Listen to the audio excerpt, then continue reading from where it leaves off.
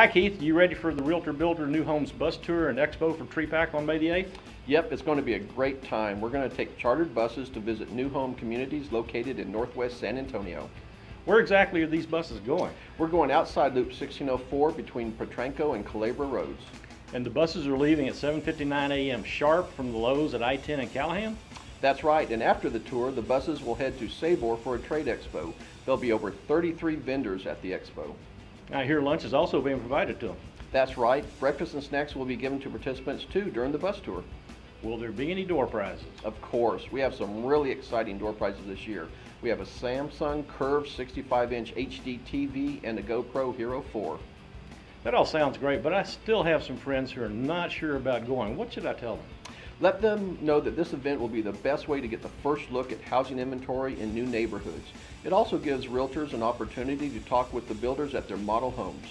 It's also a great way to support TREPAC and protect your industry during this legislative year. That's right.